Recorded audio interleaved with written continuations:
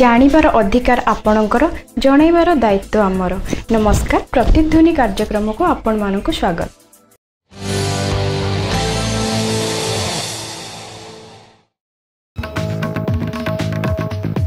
ସଂକ୍ଷେପରେ ଜାତୀୟ ଖବର। ୟୁକ୍ରେନ ଯୁଦ୍ଧର ନବମ ଦିବସ ଥମୁନି ଆକ୍ରମଣ। ଜେପୋରଜିଆ ସ୍ଥିତ ୟୁରୋପର ସବୁଠାରୁ ବଡ଼ ପରମାଣୁ ଶକ୍ତି କେନ୍ଦ୍ର ଉପରକୁ ରୁଷର ମିସାଇଲ ମାଡ଼। ଦଶଟି ସହରକୁ ଦଖଲ କରିନେଲେଣି ରୁଷ ସୈନ୍ୟ। ରାଜଧାନୀ କିଭ୍ ନିକଟରେ ଚାଲିଛି ଘମାଘୋଟ ସଂଘର୍ଷ। ୟୁକ୍ରେନରେ ରହିଛି ନଅଟି ପରମାଣୁ ପ୍ଲାଣ୍ଟ। ରୁଷର ବୋମା ମାଡ଼ରେ ଜଳୁଛି ପରମାଣୁ ଶକ୍ତି କେନ୍ଦ୍ର। ତେଜସ୍କ୍ରିୟ ବିକିରଣ ଆଶଙ୍କାରେ ସମସ୍ତେ ଆତଙ୍କିତ। କିଭ୍ରେ ବାଜୁଛି ଘନ ଘନ ସାଇରନ୍। ୟୁକ୍ରେନ ଛାଡି ଦଶ ଲକ୍ଷ ଲୋକଙ୍କ ପଳାୟନ। ଏବେ ବି ଫସି ରହିଛନ୍ତି ଅନେକ ଭାରତୀୟ। ନଅ ହଜାର ରୁଷୀୟ ସୈନ୍ୟଙ୍କୁ ମାରିଦେଇଥିବା ଦାବି କଲା ୟୁକ୍ରେନ। ସିଧାସଳଖ ଆଲୋଚନା କରିବାକୁ ରୁଷ ରାଷ୍ଟ୍ରପତି ପୁଟିନଙ୍କୁ ଆହ୍ୱାନ ଜଣାଇଲେ ୟୁକ୍ରେନ ରାଷ୍ଟ୍ରପତି ଜେଲେନ୍ସ୍କି। ୟୁକ୍ରେନ ରାଷ୍ଟ୍ରପତିଙ୍କ ସହ କଥା ହେଲେ ବ୍ରିଟେନ ପ୍ରଧାନମନ୍ତ୍ରୀ ବୋରିସ ଜନସନ। ୟୁକ୍ରେନ ସଂକଟ ସମ୍ପର୍କରେ ଉଚ୍ଚସ୍ତରୀୟ ବୈଠକରେ ସମୀକ୍ଷା କଲେ ପ୍ରଧାନମନ୍ତ୍ରୀ ନରେନ୍ଦ୍ର ମୋଦି।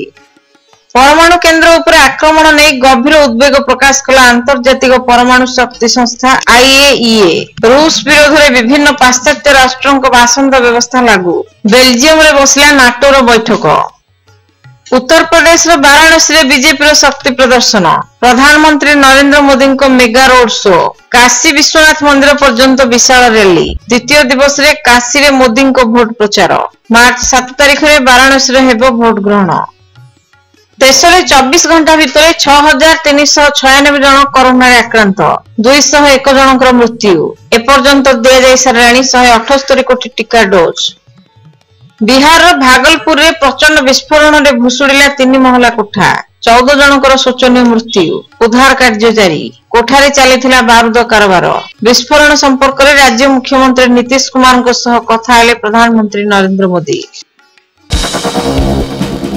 ସଂକ୍ଷେପରେ ରାଜ୍ୟ ଖବର। ପୌର ନିର୍ବାଚନ ପାଇଁ ରାଜ୍ୟ ରାଜନୀତି ଚଳଚଞ୍ଚଳ କଟକ ପରେ ଭୁବନେଶ୍ୱର ମହାନଗର ନିଗମ ମେୟର ପଦ ପାଇଁ ସର୍ବପ୍ରଥମେ ପ୍ରାର୍ଥୀ ଘୋଷଣା କଲା କଂଗ୍ରେସ। ମଧୁସ୍ମିତା ଆଚାର୍ଯ୍ୟ ହେଲେ କଂଗ୍ରେସ ପ୍ରାର୍ଥୀ। ଟିକେଟ ନ ପାଇବାରୁ ବିଜେପିରୁ ଇସ୍ତଫା ଦେଲେ ବିଜେପିର ପୂର୍ବତନ କର୍ପୋରେଟର ରଘୁ ମହାନ୍ତି। ভুবনেশ্বরে কেন্দ্র কৃষিমন্ত্রী নরেন্দ্র সিং তোমার। ফোরসাইট দুই হাজার বাইশ কার্যক্রমে অংশগ্রহণ করে দেলে উদ্বোধন। চাষী সমৃদ্ধ হলে দেশ হব সমৃদ্ধ। কৃষি ক্ষেত্র প্রতি স্বতন্ত্র গুরুত্ব আরোপ করছেন প্রধানমন্ত্রী নরেন্দ্র মোদী। কৃষি ভিত্তিভূমি বিকাশ পাই করাযাইছি এক লক্ষ কোটি টঙ্কার অধিক অর্থর ব্যবস্থা মাটির সুরক্ষা উপরে গুরুত্ব আরোপ কলে সদ্গুরু মৃত্তিকা সংরক্ষণ ইস্তাহারে রখাযা দেলে পরামর্শ କହିଲେ ବୃକ୍ଷ ଅଭାବରୁ ଭୂମି ତଳକୁ ଯାଉନି ପାଣି କମୁଛି ଭୂତଳ ଜଳସ୍ତର। ସଚେତନ ନ ହେଲେ ସୃଷ୍ଟି ହେବ ଭୟାବହ ପରିସ୍ଥିତି। ପାଞ୍ଚ ଦିନିଆ ରିମାଣ୍ଡରେ ବହୁ ପତ୍ନୀଙ୍କ ନକଲି ଡାକ୍ତର ରମେଶ ସ୍ୱାଇଁଙ୍କୁ ଆଣିଲା ମହିଳା ଥାନା ଓ ଆଣ୍ଟି ଫ୍ରଡ୍ ସେଲ୍। ରମେଶର ଠକେଇ ବିଷୟରେ ହେବ ଖୋଳତାଡ। ବଢି ଚାଲିଛି ରସିକିଆ ନକଲି ଡାକ୍ତରଙ୍କ ଠକେଇର ତାଲିକା। ପୂର୍ବରୁ ଦୁଇଥର ଯାଇଥିଲେ ରିମାଣ୍ଡରେ। ପଞ୍ଚାୟତ ନିର୍ବାଚନ ଫଳାଫଳ ନେଇ ବିଜେପିର ଆତ୍ମ ଆଶ୍ୱାସନା ସୂର୍ଯ୍ୟୋଦୟ ପରେ ସୂର୍ଯ୍ୟାସ୍ତ ଭଳି ଅନ୍ଧକାର ପରେ ଆସିବ ଆଲୋକ ପୌର ନିର୍ବାଚନ ଉପରେ ପଡିବ ନାହିଁ ପଞ୍ଚାୟତ ନିର୍ବାଚନ ଫଳର ପ୍ରଭାବ ନିର୍ବାଚନରେ ବିଜେପିର ତ୍ରୁଟିକୁ ସ୍ୱୀକାର କରିବା ସହ ଆଶ୍ୱାସନା ବାଣୀ ଶୁଣାଇଲେ ଭୁବନେଶ୍ୱର ସାଂସଦ ଅପରାଜିତା ଷଡଙ୍ଗୀ ରାଜ୍ୟରେ ଚବିଶ ଘଣ୍ଟା ଭିତରେ ଶହେ ଅଠେଇଶ ଜଣ କରୋନାରେ ଆକ୍ରାନ୍ତ ମୋଟ ସଂକ୍ରମିତଙ୍କ ସଂଖ୍ୟା ବାର ଲକ୍ଷ ପଞ୍ଚାଅଶୀ ହଜାର ପାଞ୍ଚଶହ ପନ୍ଦର ଆଉ ଛଅ ଜଣ ଆକ୍ରାନ୍ତଙ୍କ ଜୀବନ ନେଲା କରୋନା।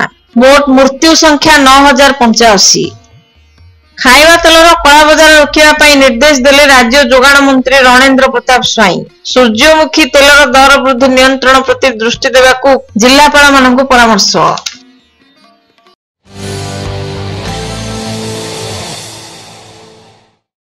ସ୍ଥାନୀୟ ସଂସ୍କୃତି ଭବନରେ ଉଦ୍ଘାଟିତ ହୋଇଛି ମହିଳା ଚିତ୍ରକଳା ଶିବିର। ଓଡିଶା ଲଳିତ କଳା ଏକାଡେମୀ ଓ ପୁରୀ ଜିଲ୍ଲା ପ୍ରଶାସନ ସହଯୋଗରେ ଆୟୋଜିତ ଏହି ଚିତ୍ରକଳା ଶିବିରକୁ ପ୍ରଦୀପ ପ୍ରଜ୍ୱଳନ ପୂର୍ବକ ଉଦ୍ଘାଟନ କରିଛନ୍ତି ଅତିରିକ୍ତ ଜିଲ୍ଲାପାଳ ପ୍ରଦୀପ କୁମାର ସାହୁ।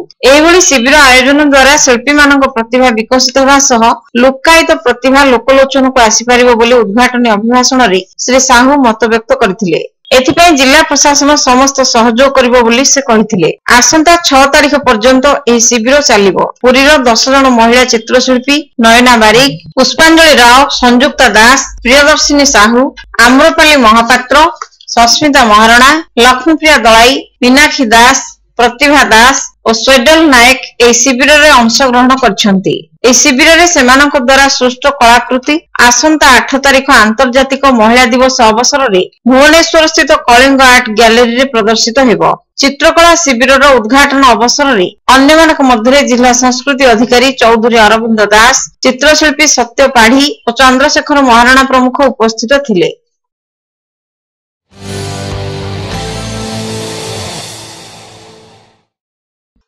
ଶିବରାତ୍ରି ଅବସରରେ ପ୍ରଜାପିତା ବ୍ରହ୍ମାକୁମାରୀ ଈଶ୍ୱରୀୟ ବିଶ୍ୱବିଦ୍ୟାଳୟ ପୁରୀ ସେବା କେନ୍ଦ୍ର ପକ୍ଷରୁ ଶିବ ଜୟନ୍ତୀ ମହୋତ୍ସବ ପାଳିତ ହୋଇଯାଇଛି ରାମଚଣ୍ଡୀ ସାହିସ୍ଥିତ ଆଶ୍ରମରେ ଶାନ୍ତ ଓ ପବିତ୍ର ବାତାବରଣ ମଧ୍ୟରେ ଅନୁଷ୍ଠିତ ଏହି ମହୋତ୍ସବରେ ମୁଖ୍ୟ ଅତିଥି ଭାବେ ଯୋଗଦାନ କରି ଶ୍ରୀ ଜଗନ୍ନାଥ ସଂସ୍କୃତ ବିଶ୍ୱବିଦ୍ୟାଳୟର କୁଳପତି ପ୍ରଫେସର ଡକ୍ଟର ହରିହର ହୋତା କହିଥିଲେ ଯେ ମହାଜ୍ୟୋତି ନିରାକାର ପରମ ବ୍ରହ୍ମ ଯେତେବେଳେ ଏହି ଧରାଧାମରେ ଦିବ୍ୟ ଅବତରଣ କରନ୍ତି ସେତେବେଳେ ସମସ୍ତଙ୍କ ଚେତନା ସ୍ତରରେ ଶିବତ୍ୱ ଜାଗ୍ରତ ହୁଏ ଓ ଆତ୍ମା ରୂପୀ ପ୍ରଦୀପ ପ୍ରଜ୍ୱଳିତ ହୋଇ ଅଜ୍ଞାନତା ରୂପକ ଅନ୍ଧକାରରୁ ସଦ୍ଜ୍ଞାନ ରୂପୀ ଆଲୋକର ଦୁନିଆକୁ ଯିବା ପାଇଁ ମାର୍ଗଦର୍ଶନ ମିଳିଯାଏ। ପ୍ରଜାପିତା ବ୍ରହ୍ମା କୁମାରୀ ପୁରୀ ସବଜୋନର ନିର୍ଦ୍ଦେଶିକା ରାଜଯୋଗିନୀ ବ୍ରହ୍ମା କୁମାରୀ ଡକ୍ଟର ନିରୁପମାଙ୍କ ଅଧ୍ୟକ୍ଷତାରେ ଅନୁଷ୍ଠିତ ଏହି ଆଧ୍ୟାତ୍ମିକ କାର୍ଯ୍ୟକ୍ରମରେ ସମ୍ମାନିତ ଅତିଥି ରୂପେ ଯୋଗଦେଇ ବିହାର ରାଜେନ୍ଦ୍ର ପ୍ରସାଦ କେନ୍ଦ୍ରୀୟ କୃଷି ବିଦ୍ୟାଳୟର କୁଳାଧିପତି ପ୍ରଫେସର ପ୍ରଫୁଲ୍ଲ କୁମାର ମିଶ୍ର କହିଥିଲେ ଯେ ପରମାତ୍ମା ଶିବଙ୍କର ଅବତରଣ ପାଳନ ହେଉଥିବା ଚତୁର୍ଦ୍ଦଶୀ ରାତ୍ରରୁ ସୂଚନା ମିଳେ ଯେ ତମସା ମାଂ ଜ୍ୟୋତିର୍ଗମୟ ଅର୍ଥାତ୍ ରାତ୍ରିକୁ ମା ରୂପେ ବିବେଚନା କରାଯାଏ ରାତ୍ରି ମାତା ତା କୋଳରେ ବିଶ୍ରାମ ଦେଇ ସମସ୍ତଙ୍କୁ ସୁସ୍ଥ ରଖିବାରେ ସହାୟକ ହୋଇଥାଏ ଈଶ୍ୱରୀୟ ବିଶ୍ୱବିଦ୍ୟାଳୟର ସମୋପଯୋଗୀ ଈଶ୍ୱରୀୟ ସେବା କାର୍ଯ୍ୟକୁ ପ୍ରଫେସର ମିଶ୍ର ଉଚ୍ଚ ପ୍ରଶଂସା କରିଥିଲେ। ଅନ୍ୟତମ ଅତିଥି ଭାବେ ଅତିରିକ୍ତ ଜିଲ୍ଲାପାଳ ପ୍ରଦୀପ କୁମାର ସାହୁ କାନ୍ତା ସାହୁ ରାଜ୍ୟ ସ୍ୱାସ୍ଥ୍ୟ ନିର୍ଦ୍ଦେଶକ ଡାକ୍ତର ଅମରେନ୍ଦ୍ରନାଥ ମହାନ୍ତି କ୍ୟାଥଲିକ ଚର୍ଚ୍ଚର ଫାଦର ପ୍ରଦୀପ ଏହି ମହୋତ୍ସବରେ ଯୋଗଦେଇ କହିଥିଲେ ଯେ ଖ୍ରୀଷ୍ଟ ଧର୍ମରେ ପରମେଶ୍ୱର ଜ୍ୟୋତି ବା ଆଲୋକର ପ୍ରତୀକ ପ୍ରଭୁ ଯୀଶୁ ତାଙ୍କର ପୁତ୍ର ଓ ଧର୍ମ ପ୍ରଚାରକ। ସବୁ ଧର୍ମ ଜ୍ୟୋତି ରୂପରେ ଈଶ୍ୱରଙ୍କୁ ମାନିଥାନ୍ତି। ଈଶ୍ୱରୀୟ ବିଶ୍ୱବିଦ୍ୟାଳୟର ଏକ ଈଶ୍ୱର ଓ ବିଶ୍ୱ ପରିବାରର ଭାବନା ବାସ୍ତବରେ ପ୍ରଶଂସନୀୟ। ରାଜଯୋଗିନୀ ବ୍ରହ୍ମା କୁମାରୀ ପ୍ରତିମା ଅତିଥି ପରିଚୟ ସ୍ୱାଗତ ଭାଷଣ ପ୍ରଦାନ କରିଥିଲେ। ମଞ୍ଚ ପରିଚାଳନା କରିଥିଲେ ବ୍ରହ୍ମା କୁମାର ଡାକ୍ତର ସତ୍ୟାନନ୍ଦ।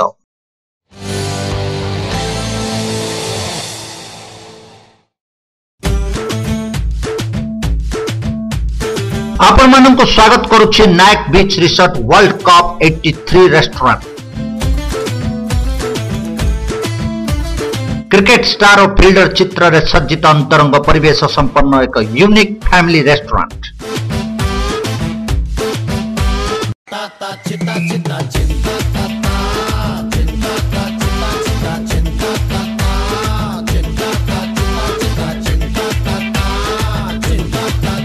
ଏଠାରେ ଦେଶୀ ଓ ବିଦେଶୀ ସ୍ୱାଦିଷ୍ଟ ଖାଦ୍ୟର ସମ୍ଭାର।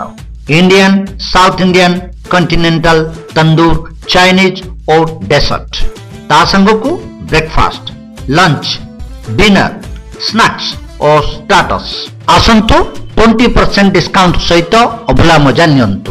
ଆପଣଙ୍କ ଅପେକ୍ଷାରେ Nayak beach resort world cup eighty three restaurant sea beach Bankimuhan Puri phone number zero six seven five two two double five three eight two two double five three eight three two double five three eight four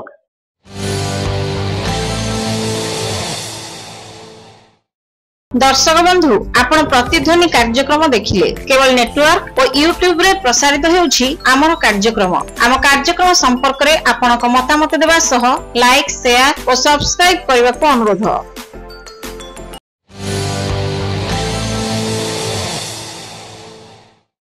ବିବିଧ ସାମଗ୍ରୀର ଭବ୍ୟ ସମ୍ଭାର ନେଇ ଆପଣଙ୍କ ସ୍ୱାଗତ ଅପେକ୍ଷାରେ Niladri furniture and electronics Nilamani Bhawan Nabakalebar road Puri.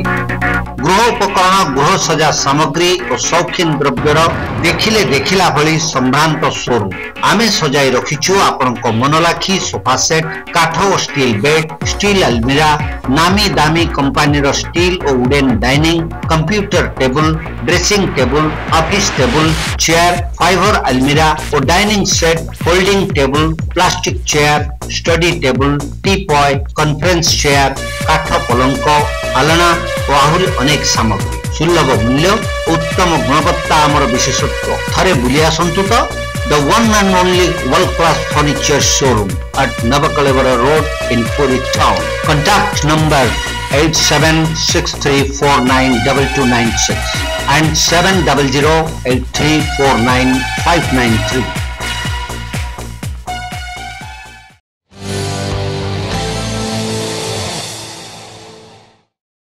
ସମସ୍ତଙ୍କ ପାଇଁ ସୁସମ୍ବାଦ। ପୁରୀ ବ୍ରହ୍ମଗିରି ରାସ୍ତାରେ ପୁରୀଠାରୁ ମାତ୍ର ତିନି କିଲୋମିଟର ଦୂର ସହର ଉପକଣ୍ଠରେ ମନୋରମ ପରିବେଶ ମଧ୍ୟରେ ପ୍ରତିଷ୍ଠିତ ପ୍ରଭୁ ଆଖଣ୍ଡଳମଣିଙ୍କ ଭବ୍ୟ ମନ୍ଦିର। ଆପଣଙ୍କୁ ଦେବ ଦିବ୍ୟ ଅନୁଭୂତି। ମନ୍ଦିର ପ୍ରାଙ୍ଗଣରେ ଏକକାଳୀନ ଦୁଇ ହଜାର ଭକ୍ତ କରିପାରିବେ ପ୍ରସାଦ ସେବନ। ବିବାହ ବ୍ରତ ନିର୍ବନ୍ଧ ଜନ୍ମଦିନ ଆଦି ମାଙ୍ଗଳିକ କାର୍ଯ୍ୟ ତଥା ସଭା ସମିତି ପାଇଁ ରହିଛି ସମସ୍ତ ସୁବିଧା। ତେବେ ଡେରି କାହିଁକି?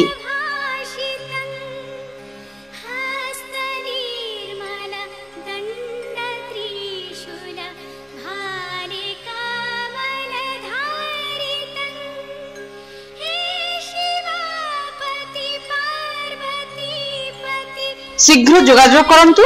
Phone number seven nine seven eight four four four nine three one অথবা 8917377084 নাইন খড়িপদা, পুরী।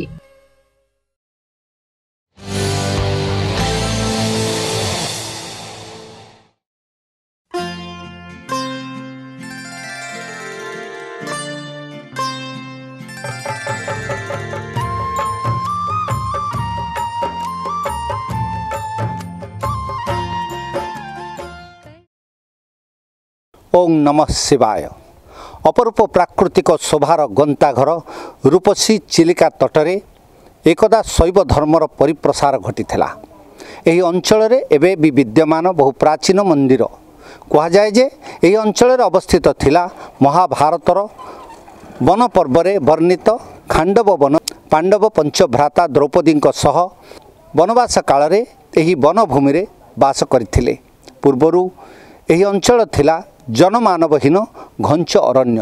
କିନ୍ତୁ ଏବେ ଏହା ବିଭିନ୍ନ ଲୋକଙ୍କର ସମାଗମରେ ଭରପୁର ଏବଂ ଗ୍ରାମାଞ୍ଚଳରେ ମଧ୍ୟ ଉଦୀୟମାନ ଯୁବକମାନେ ଏଠାରେ ରହି ଧର୍ମ ପ୍ରତି ବିଶେଷ ଆକୃଷ୍ଟ ହେବାର ଦେଖାଯାଏ।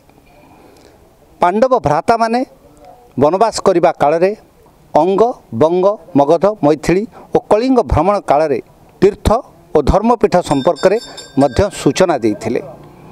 ପାଣ୍ଡବ ପଞ୍ଚଭ୍ରାତାଙ୍କ ଦ୍ୱାରା ଖାଣ୍ଡବ ବନର ଅଂଶ ବିଶେଷ ଥିବା ବ୍ରହ୍ମଗିରି ଓ ଚିଲିକା ଅଞ୍ଚଳରେ ପାଞ୍ଚଟି ଶିବଲିଙ୍ଗ ପ୍ରତିଷ୍ଠା କରାଯାଇଥିଲା।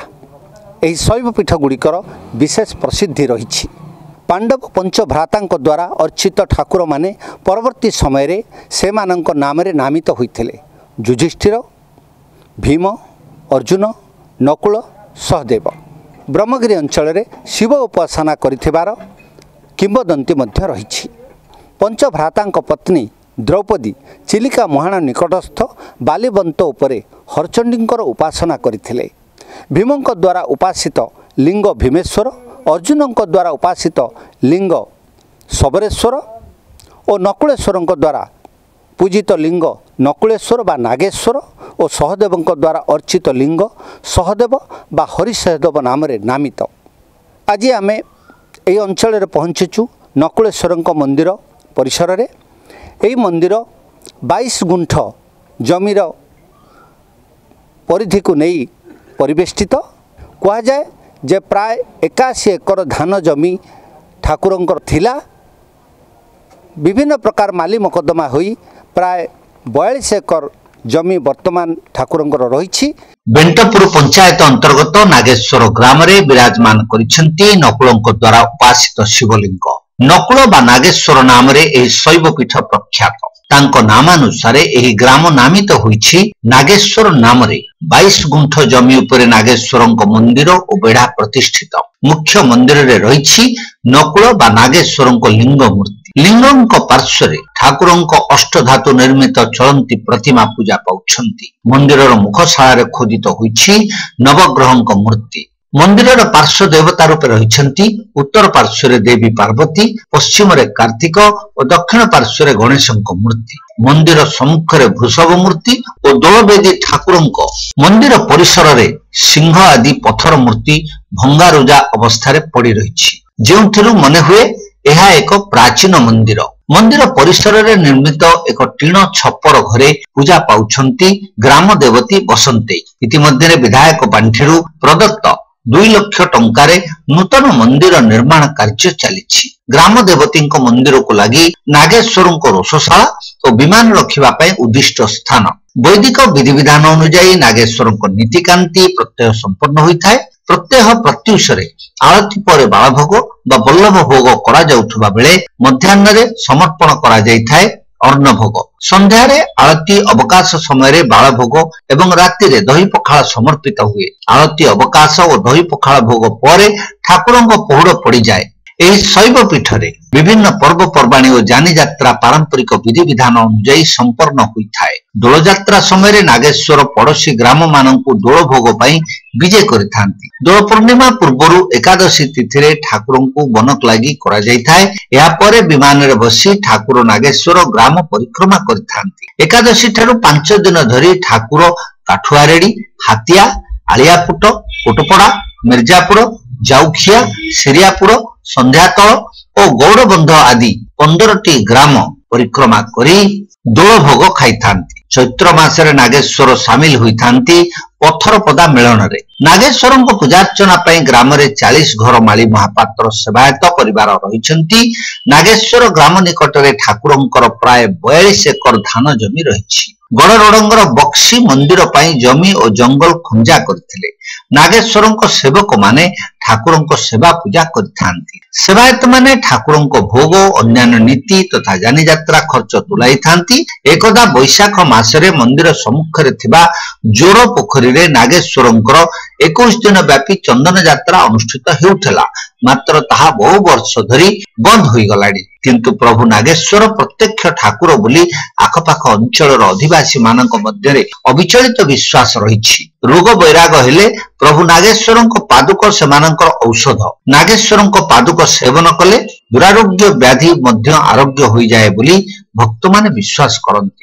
ନାଗେଶ୍ୱରଙ୍କ ମହିମା ସମ୍ପର୍କରେ ଏକ ଅଲୌକିକ ଘଟଣାର ଅବତାରଣା କରନ୍ତି ସେବାୟତ ମାନେ ସେମାନଙ୍କ କହିବା ଅନୁଯାୟୀ ଜମିଦାରୀ ଉଚ୍ଛେଦ ଆଇନ ବଳବତ୍ତର ହେବା ପରେ ଠାକୁର ସମସ୍ତ ଜମି ହରାଇବାକୁ ଯାଉଥିଲେ। ଗ୍ରାମବାସୀଙ୍କ ପକ୍ଷରୁ ଠାକୁରଙ୍କ ସମ୍ପତ୍ତି ରକ୍ଷା ପାଇଁ ଅଦାଲତରେ ମାମଲା କରାଯାଇଥିଲା। ମକଦ୍ଦମାରେ ନ ଜିତିଥିଲେ ନାଗେଶ୍ୱରଙ୍କୁ ପାଣିରେ ଫୋପାଡି ଦେବୁ ବୋଲି ମଧ୍ୟ ଗ୍ରାମବାସୀମାନେ ଧମକ ଦେଇଥିଲେ। ମାତ୍ର ବିସ୍ମୟର ବିଷୟ ରାୟ ଘୋଷଣା ଦିନ ମାମଲାର ବିଚାର କରୁଥିବା ବିଚାରପତିଙ୍କ ଅଦାଲତ ଝରକାର ରିଲିଂରେ ଏକ ସର୍ପର ଆବିର୍ଭାବ ଘଟିଥିଲା। ଠାକୁରଙ୍କ ମହିମାରେ ବିସ୍ମିତ ହୋଇ ବିଚାରପତି ସବୁ ସମ୍ପତ୍ତି ପ୍ରଭୁ ନାଗେଶ୍ୱରଙ୍କ ନାମରେ କାୟମ ରଖିବାକୁ ଆଦେଶ ଦେଇଥିଲେ। ଏହିଭଳି ମହିମା ଯୋଗୁଁ ଅନେକ ଭକ୍ତ ନିଜର ଅଭିଷ୍ଟ ସିଦ୍ଧି ପାଇଁ ନାଗେଶ୍ୱରଙ୍କ ନିକଟରେ ଅଧିଆ ପଡିଥାନ୍ତି। ବିଡମ୍ବନାର ବିଷୟ ହେଲା ସ୍ଥାନୀୟ ଅଞ୍ଚଳର ଅଧିବାସୀ ମାନଙ୍କ ବ୍ୟତୀତ ଅନ୍ୟାନ୍ୟ ଅଞ୍ଚଳର ଅଧିକାଂଶ ଲୋକ ପଞ୍ଚ ପାଣ୍ଡବ ପୀଠ ସମ୍ପର୍କରେ ବିଶେଷ ଭାବେ ଜାଣନ୍ତି ନାହିଁ। ବର୍ତ୍ତମାନ ଆମ ନିକଟରେ ମନ୍ଦିରର ପୂଜକ ସୁରେଶ ସାମନ୍ତରାୟ ଉପସ୍ଥିତ ଅଛନ୍ତି। ଚାଲନ୍ତୁ ତାଙ୍କ ସହିତ କରିବା ବାର୍ତ୍ତାଳାପ। ମନ୍ଦିର ସମ୍ପର୍କରେ ମନ୍ଦିରର ଐତିହ୍ୟ ସମ୍ପର୍କରେ ନୀତିକାନ୍ତି ସମ୍ପର୍କରେ ତାଙ୍କଠାରୁ ପଚାରି ବୁଝିବା। ସୁରେଶ ବାବୁ ଆପଣ କହିବେ କି ଏ ମନ୍ଦିର କେତେ ପୁରାତନ ମନ୍ଦିର? ଜୟ ଶିବ ଶମ୍ଭୁ ହର ହର ମହାଦେବ। ଏ ମନ୍ଦିର ଆଜ୍ଞା ରାଜା ରାଜୁଡ଼ାଙ୍କ ଅମଳ ପୂର୍ବରୁ ପୁର- ବହୁତ ପୁରାତନ ମନ୍ଦିର ଏବଂ ତ୍ରେତୟା ଯୁଗର ମନ୍ଦିର ବୋଲି ଯାହା କଥିତ ଅଛି ବା ବର୍ଣ୍ଣିତ ଅଛି ଏ ମନ୍ଦିର ହେଉଛି ତ୍ରେତୟା ଯୁଗର ଏବଂ ଏ ପ୍ରଭୁଙ୍କର ଅନେକ ମହିମା ରହିଛି। ଏଠାରେ ଦନ୍ତାଘାତରୁ ବହୁତ ଲୋକ ଉପଶମ ପାଇଛନ୍ତି। ଯାହାକୁ ବି ସର୍ବଦଂଶନ କରିଥାଏ ସେମାନେ ଆସି ପ୍ରଭୁଙ୍କ ନିକଟରେ ମାନସିକ କରନ୍ତି ଏବଂ ଗୁହାରିଆ ପଡ଼ିଲେ ସେମାନେ ଦନ୍ତାଘାତରୁ ମୁକ୍ତି ପାଇଥାନ୍ତି। ପୂଜକଙ୍କ ସଂଖ୍ୟା ପ୍ରାୟତଃ ଚାଳିଶ ଜଣ ସେବାୟତ ଅଛନ୍ତି। ଏହି ନାଗେଶ୍ୱର ଗ୍ରାମର ପ୍ରଭୁଙ୍କ ନିକଟରେ ସମସ୍ତେ ଅଛନ୍ତି। ଏହା ଆମର ବଂଶାନୁକ୍ରମିକ ସେବା। ଆମ ପୂର୍ବଜଙ୍କ ଅମଳରୁ ଆମେ ପ୍ରଭୁଙ୍କର ସେବା କରିଆସୁଛୁ। ନୀତିକାନ୍ତି ଭୋର ଚାରିଟାରୁ ପ୍ରଭୁଙ୍କର ଯେଉଁ ରହିଛି ଦ୍ୱାରପିଠା ଏବଂ ସ୍ନାନ ତାପରେ ମଙ୍ଗଳ ଆଳତି ଏବଂ ତାପରେ ସର୍ବସାଧାରଣ ଦର୍ଶନ ରହିଛି। ଏବଂ ମଧ୍ୟାହ୍ନରେ ପ୍ରଭୁଙ୍କର ଯେଉଁ ଭୋଗ ଲାଗି ହୁଏ ରନ୍ଧା ଭୋଗ ତାହା ମଧ୍ୟ ରହିଛି ଏବଂ ସନ୍ଧ୍ୟାରେ ସନ୍ଧ୍ୟା ଧୂପ ବାଳ ଭୋଗ। ସେ କମିଟିର ଭୂମିକା ଆଜ୍ଞା ଯାହା ବି କିଛି ରହିଛି ବହୁତ ତ ରହିଛି ସେମାନଙ୍କର ଭୂମିକା। ଯା କାହିଁକି ନା କାରଣ ଆମେ ଏ, ସେବାୟତମାନେ ହିଁ ଏ କମିଟି ଠାକୁରଙ୍କର ହେଉଛୁ ମୁଖ୍ୟ ମାର୍ଫତଦାର। ସେଇମାନେ ହିଁ ଏଠି ଯାହା ବି କିଛି ଉମ, ଉନ୍ନତି ହେଇଛି ସେଇମାନଙ୍କ ଦ୍ୱାରା ହିଁ ହେଇଛି। ଯେତେବେଳେ ରାଜା ରାଜୁଡ଼ା ଅମଳ ଯେତେବେଳେ ସରିଗଲା ପରବର୍ତ୍ତୀ ସମୟରେ ଆମର ଯେତେବେଳେ ଏ, ଗଣତନ୍ତ୍ର ରାଷ୍ଟ୍ର ଉମ, ଗଣତନ୍ତ୍ର ଯେତେବେଳେ ଆରମ୍ଭ ହେଲା আইন জমিদারি উচ্ছেদ আজ্ঞা জমিদারি উচ্ছেদ হল। তাপরে পরে আমার এই মহাপ্রভুঙ্কর সম্পত্তি গুড়ি সবু বাজ্যাপ্তি হয়ে যাওয়া পরিস্থিতি লা তো সেপাই আমি গ্রামবাসী সমস্ত যাই আদালতের মধ্যে কেস করেছিল মকদ্দমা করেছিল সে মকদ্দমারে সে অনেক দিন বিতিগলা বিতিগলা পরে সে যে জজ থিলে ଗୋଟେ ଅଲୌକିକର ଘଟଣା ହେଉଛି ସେ ଯିଏ ଜଜ୍ ଥିଲେ ସେ ଏମିତି କିଛି ଦିନ ଯିବା ପରେ ତାଙ୍କର ଦ୍ୱାର ଦେଶରେ ବା ତାଙ୍କର ଯେଉଁ ଝରକା ଫାଙ୍କରେ ନିଜେ ମହାପ୍ରଭୁ ନକୁଳେଶ୍ୱର ଦେବ ନାଗ ସାପ ବର୍ତ୍ତମାନ ତାଙ୍କ ରୂପରେ ଦେଖାଦେଲେ। ଏବଂ ସେହିଦିନ ହିଁ ସେ ଆସି କିଛି ନ ପଚାରି କିଛି ନ ବିଚାରି ପ୍ରଭୁଙ୍କ ନାମରେ ସେ ସମ୍ପତ୍ତି ଗୁଡ଼ିକ ସବୁ କରିଥିଲେ। ଏହା ହେଉଛି ଅଲୌକିକତା ଏବଂ ସେ ଯେଉଁ ଅଦାଲତରେ ଯେଉଁଦିନ ଆମର କେସ୍ ରହିଥିଲା ସେଦିନ ମଧ୍ୟ ସେ ଅଦାଲତ ସାରା ଚନ୍ଦନ କର୍ପୂର ଏସବୁ ବାସ୍ନା ହେଇଥିଲା। ଯିଏ ଯାହା ବି ମାନସିକ ଏଠାରେ କରେ ତାର ନିଶ୍ଚିତ ଭାବରେ ପୂରଣ ହେଇଛି ଏବଂ ସେ ମଧ୍ୟ ନିଜେ ଅଲୌକିକତା ଉପଲବ୍ଧି କରିକି ଯାଇଛି ଐତିହ୍ୟ ସମ୍ପର୍କରେ କହିବାକୁ ଗଲେ ମନ୍ଦିର ତ ବହୁତ ପୁରାତନ ମନ୍ଦିର ଐତିହାସିକ ଯୁଗର ଆମ ବାପା ଜେଜ ଅମଳରୁ ସବୁ ତାଙ୍କ ବାପା ଅମଳରୁ ସେ ବି ଦେଖି ଆସିଛନ୍ତି କିନ୍ତୁ ମନ୍ଦିରର ମାନେ ଐତିହାସିକ ବିଷୟରେ କେହି ବି ଆଜି ପର୍ଯ୍ୟନ୍ତ ମାନେ ଅନୁଧ୍ୟାନ କରିନାହାନ୍ତି। ଆଉ ଏତିକି ଖାଲି ଜାଣିଛୁ ବହୁତ ପୁରାତନ ମନ୍ଦିର। ସେମିତି କିଛି ରାଜନୈତିକ ସ୍ତରରୁ ଆମେ ସାହାଯ୍ୟ ସହାନୁଭୂତି ପାଇନୁ। ଏଇ ବିଗତ ଦୁଇ ବର୍ଷ ହେବ ଆମର ଚଳିତ ବିଧାୟକ ଯିଏ ଅଛନ୍ତି ଲଳିତେନ୍ଦୁ ବିଦ୍ୟାଧର ମହାପାତ୍ର ତାଙ୍କ ଲେଡ୍ରୁ ଦୁଇ ଲକ୍ଷ ଟଙ୍କା ସାଙ୍କସନ୍ ହୋଇଥିଲା ଯାହାକି ଆମର ୱାଲ୍ ବାଉଣ୍ଡରୀ ହେଇଛି। ଆଉ ପୂର୍ବରୁ ସଞ୍ଜୟ କୁମାର ଦାସ ବର୍ମା ଆମର ଯୋଜନା ବୋର୍ଡ଼ର ଅଧ୍ୟକ୍ଷ ଯିଏ ଅଛନ୍ତି ତାଙ୍କ ପିରିୟଡ଼ରେ ବି ଦୁଇ ଲକ୍ଷ ଟଙ୍କାର ଆମର ସେଇ ପ୍ରାଚୀର ୱାଲ୍ ବାଉଣ୍ଡରୀ ପାଇଁ କିଛି ଲେଡ୍ରୁ ସାଙ୍କସନ୍ ହୋଇଥିଲା। ଏତିକି ହେଉଛି ଆମର ରାଜନୈତିକ ସହାୟତା ଭିତରେ ଯାହା କିଛି ଡେଭଲପ୍ ହୋଇଛି। ଆଉ ଯାହା ବି ଉନ୍ନତି ହେଇଛି ଆମର ଗ୍ରାମ୍ୟ କମିଟି ଆଉ କିଛି ଯୁବକମାନଙ୍କ ଦ୍ୱାରା ଏସବୁ ଆପଣଙ୍କର ଗ୍ରାମ ଦେବୀ ବସନ୍ତି ଠାକୁରାଣୀ। ଆଜ୍ଞା। ସିଏ ଏଭଳି ଜରାଜୀର୍ଣ୍ଣ ମନ୍ଦିରରେ ରହିଛନ୍ତି। ଆଜ୍ଞା। ଆପଣ ଏଥିପାଇଁ କିଛି ଚେଷ୍ଟା କରିଛନ୍ତି କି କିଭଳି ମନ୍ଦିର ତିଆରି ହେବ କି କ'ଣ? ଆଜ୍ଞା ସାର୍ ସେଇ ବାବଦ ସେଇ ସେଇ ବାବଦରେ ଆମ ଗ୍ରାମବାସୀ ଅଣ୍ଟା ଭିଡ଼ିଛନ୍ତି। ଯାହାର ଉଦାହରଣ ସ୍ୱରୂପ ଆପଣଙ୍କୁ ଏଇଠି ଦେଖାଉଛି ଅର୍ଦ୍ଧ ନିର୍ମିତ ମନ୍ଦିର ବି ଚାଲିଛି କାର୍ଯ୍ୟ। ତାହାର ଭାର ପୁଣି ଗ୍ରାମବାସୀଙ୍କ ଉପରେ ନ୍ୟସ୍ତ। କିନ୍ତୁ କୌଣସି ସରକାରୀ ସ୍ତରରୁ କିମ୍ବା ରାଜନୈତିକ ସ୍ତରରୁ ଆମର ସାହାଯ୍ୟ ସହାନୁଭୂତି ଗ୍ରାମ ଦେବତୀଙ୍କ ପାଇଁ କିଛି ନାହିଁ। ଯାହା ବି ଏଠି ଉନ୍ନତି ଦେଖୁଛନ୍ତି କେବଳ ଆମ ଗ୍ରାମ କମିଟି ଆଉ ଗ୍ରାମର କିଛି ଯୁବକଙ୍କ ଦ୍ୱାରା ଏସବୁ ହେଉଛି। ଏଇ ଅବହେଳିତ କଥାଟା ସମସ୍ତେ ଉପସ୍ଥାପନା କରୁଛନ୍ତି। କାହିଁକି ଜାଗା ଉନ୍ନତି ହେଉନି? କ'ଣ ପାଇଁ ଅଣଦେଖା ହେଉଛି?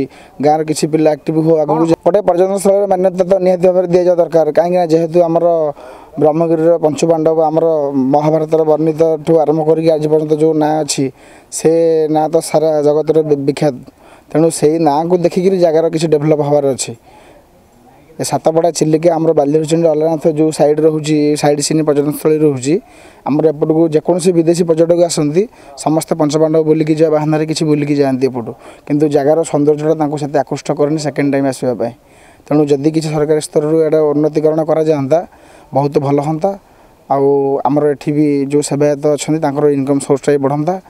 ଆଉ ସବୁ କିଛି ଉନ୍ନତି ପରିଲକ୍ଷିତ ହୁଅନ୍ତା।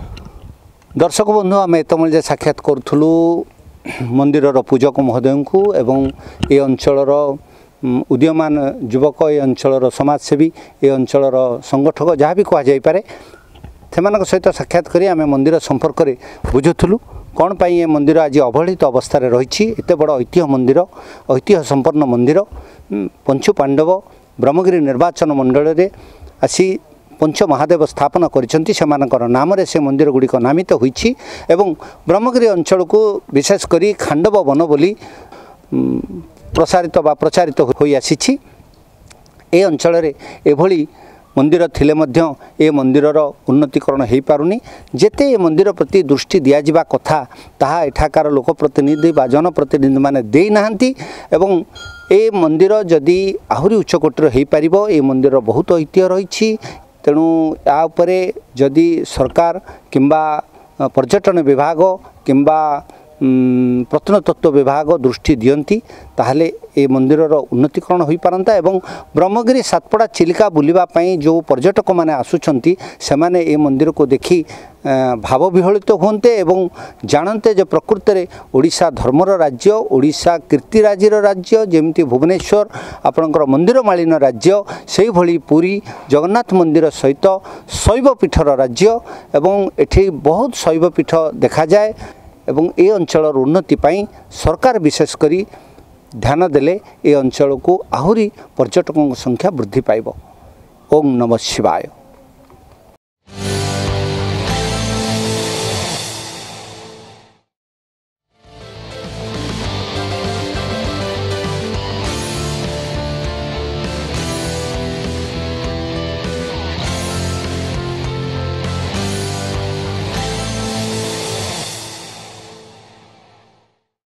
ଗତ ଚବିଶ ଘଣ୍ଟାରେ ପୁରୀ ସହରର ପାଗ ଶୁଖିଲା ଥିଲା। ଏହି ସମୟ ମଧ୍ୟରେ ସହରର ସର୍ବୋଚ୍ଚ ଓ ସର୍ବନିମ୍ନ ତାପମାତ୍ରାରେ ପରିବର୍ତ୍ତନ ଘଟିଥିଲା।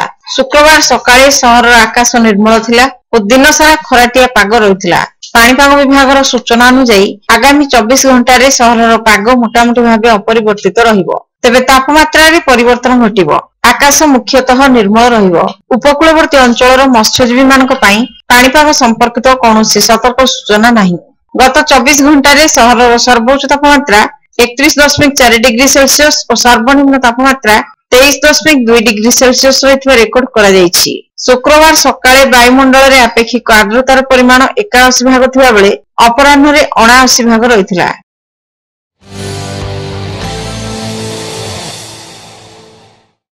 ଆଜି ପାଇଁ ଏତିକି। ପୁଣି ଦେଖାହବ ଆସନ୍ତାକାଲି ଏହି ସମୟରେ। ଜୟ ଜଗନ୍ନାଥ। দর্শক বন্ধু আপন প্রতিধ্বনি কার্যক্রম দেখিলে কেবল নেটওয়ার্ক ও ইউট্যুবরে প্রসারিত হেউছি আমার কার্যক্রম আম কার্যক্রম সম্পর্কে আপনার মতামত দেওয়া সহ লাইক সেয়ার ও সবসক্রাইব করা অনুরোধ